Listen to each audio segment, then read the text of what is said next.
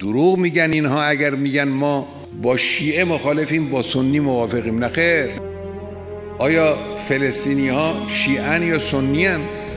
چرا با فلسطینی ها اینقدر بدن؟ چرا جنایت نسبت به فلسطینی ها را مطلقا مورد تعرض قرار نمیدن؟ غزه چقدر کوبیده شد؟ سرزمین های کرانه باختری چقدر تحت فشار قرار گرفت و همکنون تحت فشار قرار داره. اونا که شیعه نیستن اونا سنی هن.